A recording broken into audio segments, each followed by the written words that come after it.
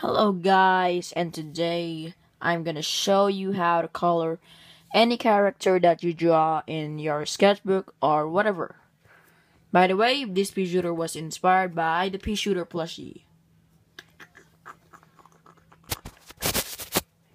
So yeah, you need Faber-Castell because Faber-Castell works in every sketches that I made. No offense to other color pencil brands, but color pencil is just the best. As you see here, I already made the layer of the head, so I'm sorry, but I didn't quite show you all my color. So yeah, what you need is light green for the head. So let's finish it first.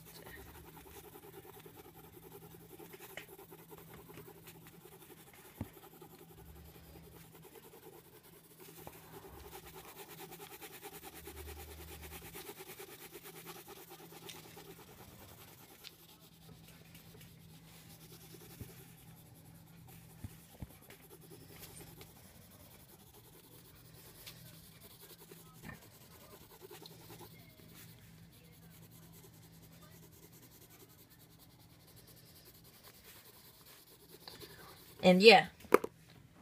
So you're what you're gonna do is you shadow the pea shooter with this again. So yeah.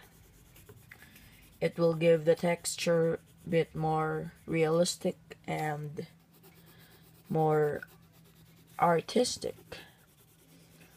I just made a rhyme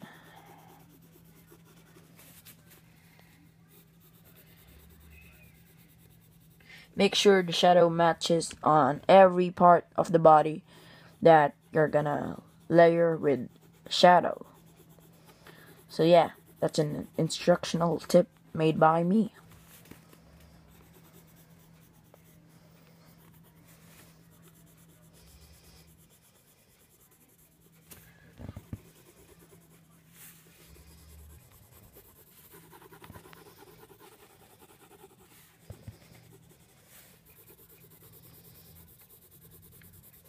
And then again put shadow.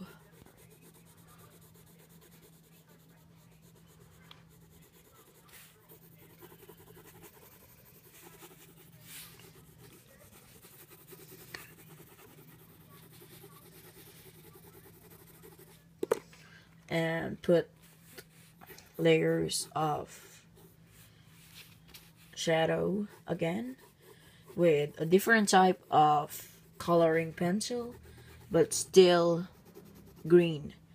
Just this one is dark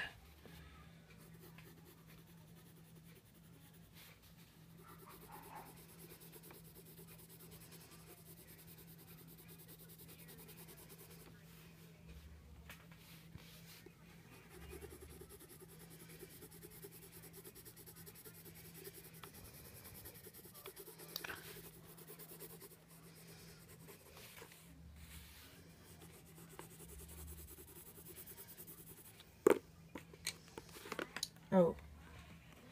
Okay. So, yeah. So, I'm gonna show you part two. So, yeah. Hope you leave a like, subscribe, comment on the comments below. And I'll see you guys next time. Peace!